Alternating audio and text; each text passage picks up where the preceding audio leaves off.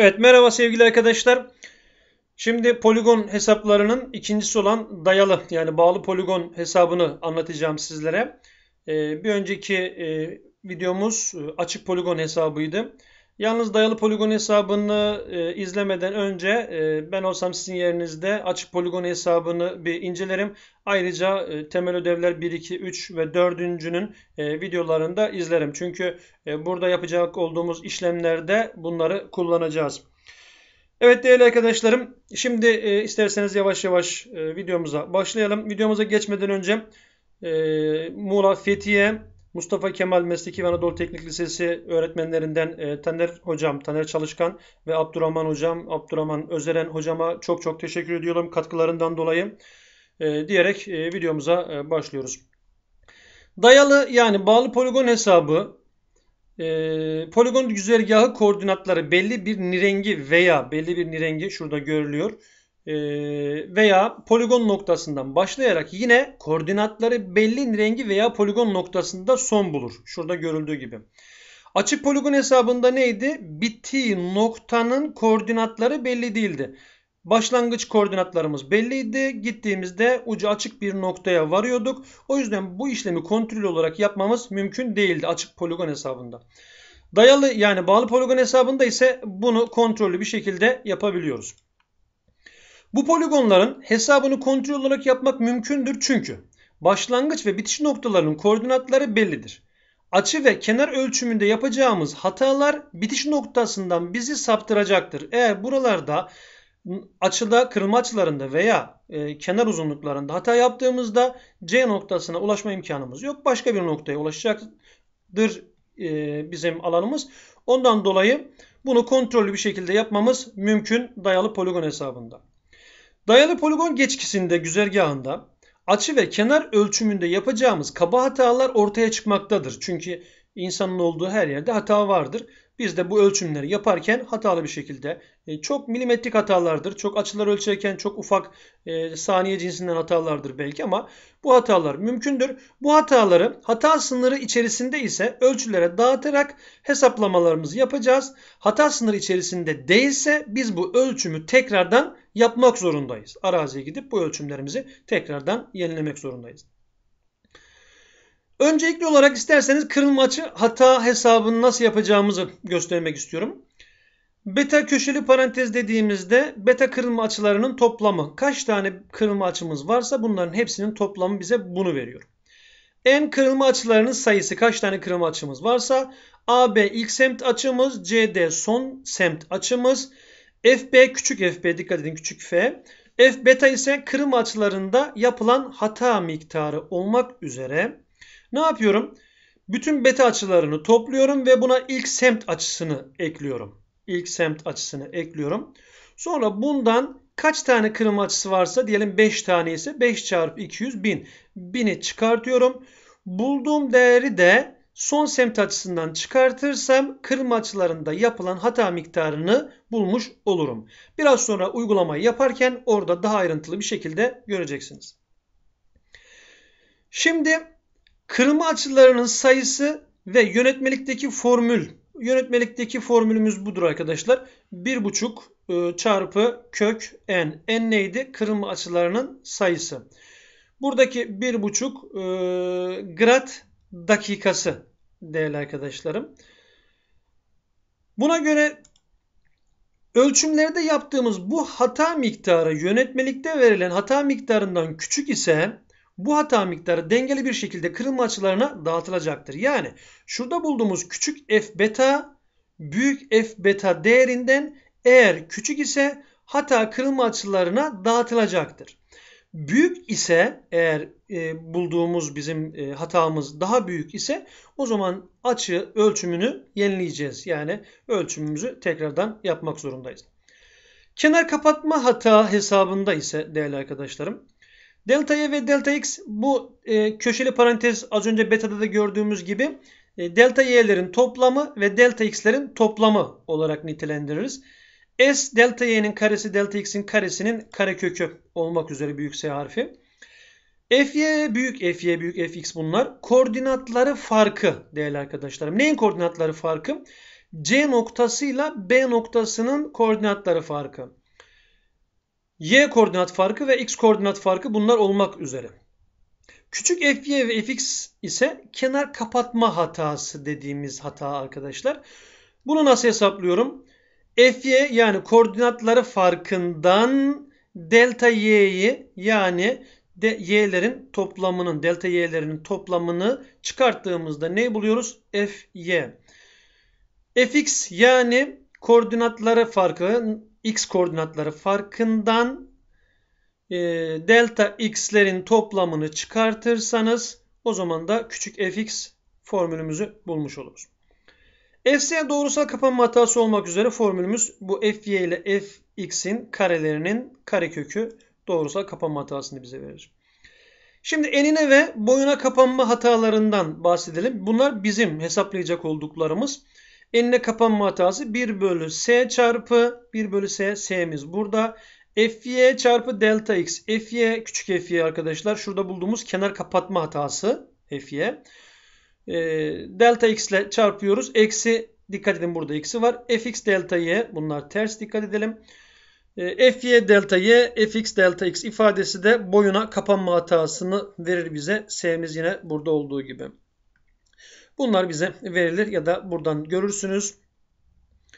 Yönetmelikte verilen e, FQ maksimum yani bunun alabileceği en büyük değer ise 0.05 artı 0.15 çarpı kök S değeri. S buradaki S. Fakat buradaki S'yi dikkat edin arkadaşlar. Burada e, yazmıştım ben ama çıkmadı galiba. Kilometre olarak buraya yazacaksınız. Mesela S'miz diyelim 267 metre. O zaman kökün içerisine 0,267 olarak yazacaksınız bunu. Kilometre olarak buraya alacağız. 0.05 artı 0.04 çarpı kök içerisinde n eksi 1 ifadesi de bize boyuna kapanma hatasının maksimum değerini vermektedir. Değerli arkadaşlarım e, bu videoyu biraz geç çektim. Bunun nedeni e, Q ile L'nin maksimum değerlerinde yönetmelikte verilen formüllerde burada bir sıkıntı olduğunu düşündüğüm için e, birkaç hoca arkadaşla paylaştım konuyu. Özellikle üniversitede harita mühendisliği bölümlerinde birçoğunda şurada hata olduğu sonucu ortaya çıktı. Yönetmelikte verilen hata 0.15 çarpı kök s 0.04 çarpı kök n eksi 1 ifadesi bunlar yer değişecekler arkadaşlar normalde. Yani fq maksimum 0.05 artı 0.04 çarpı kök n eksi 1 olacak. FL maksimumda 0.05 artı 0.15 çarpı kök S değer olması gerekiyor. Ama ben onu o şekilde kullanmadım. Yönetmelikte ne yazıyorsa o şekilde kullandım ki e, yönetmelikten sapmayalım. Ama bilin bazı üniversitelerde bunların yerlerini değişik bir şekilde veriyorlar. E, bir şey değişmiyor örneklerin çoğunda çünkü hata sınırı içerisinde genelde geldiği için sorun yaşamıyoruz. Biz de örneğimizi uygulamamızı ona göre seçeceğiz. Burada FQ değeri yani enine kapanma hatası maksimum değerinden küçük, boyuna kapanma hatası da kendi maksimumdan küçük olursa hata kabul edilebilir. Hata sınırlar içerisindedir ve biz kenar kapatma hatalarını yani delta y ve delta x üzerine kenar uzunluklarıyla orantılı olarak dağıtacağız hata miktarlarımızı. Burada bulduğumuz kenar kapatma hata miktarlarımızı biz e, delta y ve delta x'in üzerine dağıtacağız. Kenarlarıyla orantılı olacak şekilde. Peki neden ihtiyaç duyarız buna? Biz bize ne verilecektir e, dayalı poligon hesabında? AB semt açısı ve CC, CD semt açısı. B'nin koordinatları, C'nin koordinatları bize verilecek. Peki bizim ölçtüklerimiz neler? Beta 1, beta 2, beta 3, beta 4, beta 5 artık ne kadar açımız varsa kırılma açılarını ölçeceğiz. S1, S2, S3, S4 kenarlarını biz ölçeceğiz. Peki bizden ne isteyecek? Verilmeyen P2, P1, P2, P3 noktalarının koordinatlarını bizden isteyecek. Peki nasıl hesaplayacağız isterseniz adım adım göstereyim, anlatayım size. Birinci adımımız kırılma açı hatası hesaplanarak bulunan değer yönetmeliğe uygun ise kırılma açılarına dağıtacağız. İlk işlemimiz bu olacak arkadaşlar. İkinci adımımız açık poligon hesabında yaptığımız tabloyu oluşturarak düzeltilmiş kırılma açılarla semt değerlerini delta y ve delta x farklarını hesaplayacağız. Üçüncü adımda örnekte uygulamada göreceksiniz biraz sonra ayrıntılı bir şekilde. Kenar kapatma hataları hesaplanarak bulunan değerler yönetmeliğe uygun ise delta y ve delta x farklarına dağıtılır. Dördüncü ve son adım olarak delta y ve delta x farkları eklenerek P1, P2, P3 artık ne kadar koordinatımız varsa bu koordinatları hesaplayacağız. Peki bu tabloyu hatırlıyorsunuz arkadaşlar. Açık poligon hesabında bunları e, bu tabloyu kullanmıştım. Şimdi dayalı poligon hesabında da e, aynı tabloyu kullanacağız. E, belki bir farkla. Şimdi burada bize B'nin tabloyu doldururken beta 1, beta 2, beta 3, beta 4 ve beta 5 kırılma açılarını buraya yerleştiriyoruz. İlk semt açısını bize verecek. İlk semt açısını biz buraya yazarız. Sonra beta kırılma açılarını ve ilk semt açısını toplarız. Kaç tane kırılma açımız varsa 200 ile çarparak çıkarttık. Bulduğumuz değeri buradaki CD semt açısından çıkartarak farkı bulup dağıtırız. Dağıttıktan sonra semt açılarını hesaplarız. Nasıl? Toplar çıkartırdık 200'den ya da 400'den artık biraz sonra uygulamada görürüz. Delta'ya delta x'lerimizi hesaplarız. En son bunların toplamı şeklinde y ve x değerlerimizi hesaplayabiliriz. Evet şimdi isterseniz uygulamamıza başlayabiliriz. Uygulamamızda değerli arkadaşlarım AB semt açısı şuradaki AB semt açısını vermişim. CD semt açısını vermişim. B noktasının koordinatlarını y ve x koordinatlarını vermişim. C noktasının y ve x koordinatlarını vermişim. Sizden e, beta 1, beta 2, beta 3 ve beta 4 kırılma açılarını ölçmüşüz. S1, S2, S3 kenar uzunluklarını ölçmüşüz. Bunlar bize verilenler. P1, P2 noktasının koordinatlarını hesaplamak istiyorum. AB gördüğünüz gibi B noktası belli. Burası da belli olduğu için bağlı poligon yani dayalı poligon hesabı güdeceğiz burada. Hatalarımız varsa hatalarımızı dağıtacağız. Kontrollü bir şekilde bu hesabı yapabiliriz. Şimdi sizden isteğim bu videoyu burada durdurun. Kendi hesaplamalarınızı, tablonuzu yapmaya çalışın. Sonra eksiklerinizi beraberce gidermeye çalışalım. E, buradakileri not aldıysanız, durdurup not aldıysanız videomuza devam edelim. Önce verilen değerleri tabloda yerine yazacağız değerli arkadaşlarım. Evet tablomuz şimdi burada. Tabloyu oluşturdum ben hızlı bir şekilde. Verilen değerlerimiz beta semt açısı verilmiş bize. Kırılma açılarını vermişti. Ben de tabloma yerleştirdim. C'nin semt açısını vermişti bana. CD semt açısını yerine yazdım. B'nin koordinatları ve C'nin koordinatları belli. Bunları da yerine yazdım. Şimdi tablomuzu oluşturduk. Şimdi de kırılma açısı hatasını hesaplayalım. Kırılma açısını hesaplayalım dedik. Değerli arkadaşlar formülümüz buydu. F beta küçük F beta'nın formülü. Kırılma açısı hata hesapladığımızda 12 grad saniyesi olarak karşımıza geliyor. Burada biraz yardım edeyim size. Semt ilk semt açısı AB. Bu artı buradaki kırılma açılarının hepsini topluyorsunuz. Eksi kaç tane kırılma açımız var? 4 tane. 4 ile 200 çarparsam 800 olur. Ben bundan 800 çıkartırsam buradaki değeri bulurum. Sonra da CD semt açısı yani buradaki CD semt açısından burada bulduğum değerleri çıkartırsam 12 grad saniyesi olarak e, kırılma açısı hatasını bulmuş olurum. Peki şimdi yönetmelikteki formülümüz neydi? 1,5 çarpı köken yönetmelikteki formülümüz. Buna baktığımızda 3 grad dakikası olarak karşımıza geliyor veya 300 e, grad saniyesi olarak karşımıza geliyor. Dolayısıyla f beta değerimiz küçük f beta yani bizim hesapladığımız yapmış olduğumuz hata daha doğrusu e, yönetmelikteki formülden küçük olduğu için sorun yok. Açıyı dağıtabiliriz. Neyi dağıtacağım? 12'yi.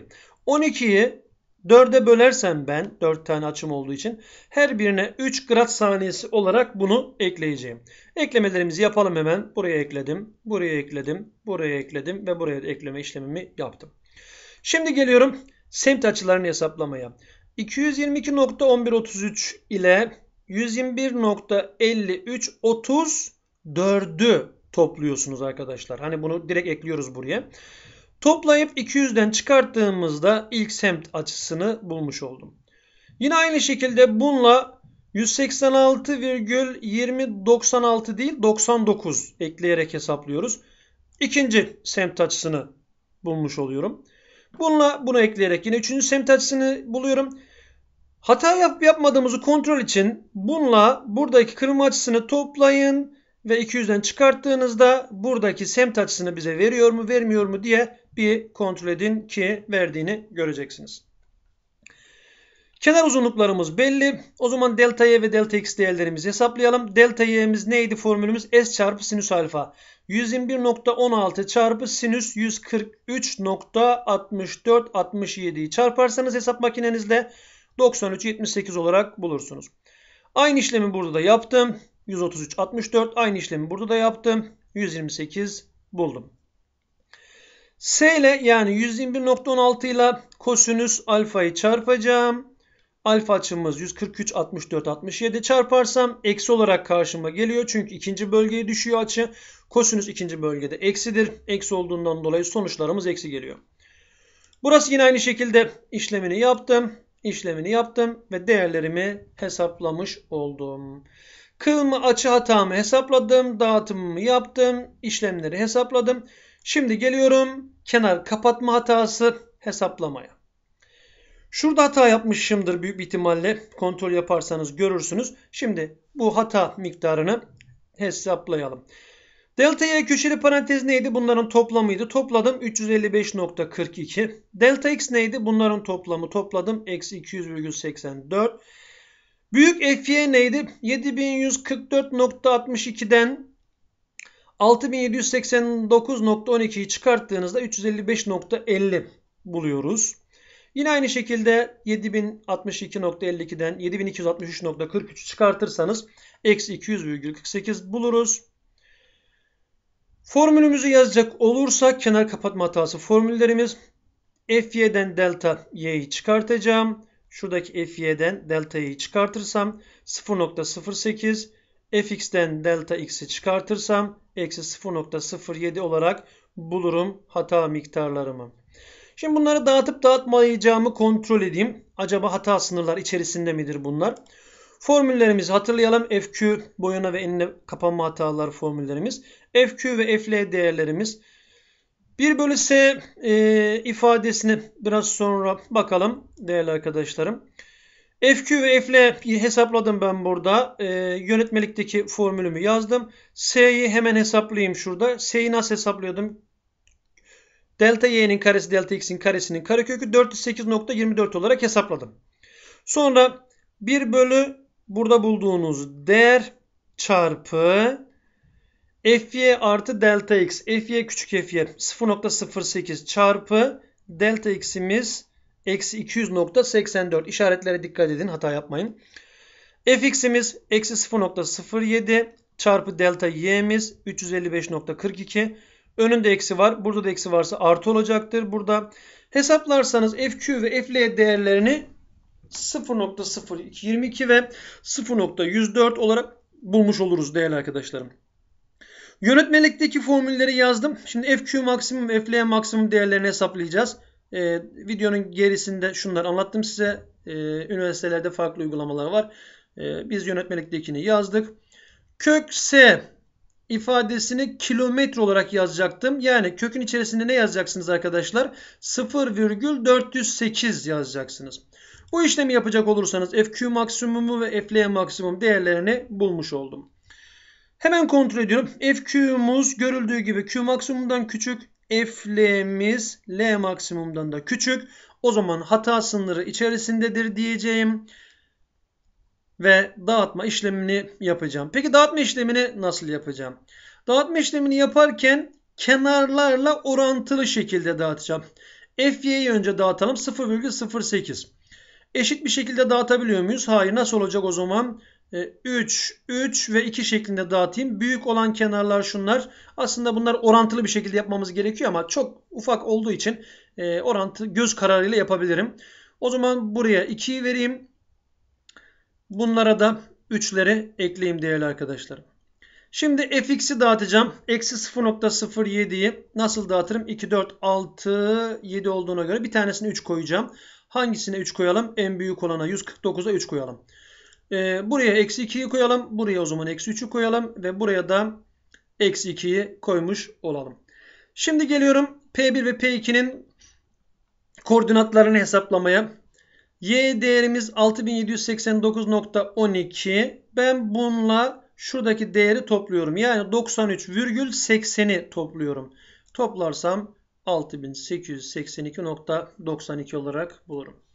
Sonra 6882.92 ile 133,67'yi dikkat edin şunları topluyorum. 67'yi toplarsam buradaki değeri bulurum. Kontrol yapmak istiyorum ben bu işi. 7016.59 ile 128.03'ü topladığınızda daha 7144.62 verdiğini kontrol edin lütfen. Şimdi geliyorum bununla buradaki değeri eksi var. Topluyorum normalde. Eksiyle topladığınızda çıkartma işlemi anlamına gelir. 7186.70 bulurum. Yine bununla aynı şekilde 67.72 değil tabii ki bunu eklerseniz eksi 67,75 olacaktır. Çıkartırsak bunu buluruz. Kontrol amaçlı olarak bununla 56,43'ü çıkartırsanız 7062.52 olduğunu görmüş olursunuz değerli arkadaşlar. Evet, beni dinlediğiniz için teşekkür ediyorum. Hepinize sağlıklı günler diliyorum değerli arkadaşlarım. Videolarımızın devamı için lütfen kanala abone olmayı unutmayın. Bundan önceki videolarda böyle bir bilgi vermedim. Devamı için. Bundan sonraki videomuz e, büyük ihtimalle kapalı poligon hesabı olacaktır. Teşekkür ediyorum. Hepinize sağlıklı günler tekrardan.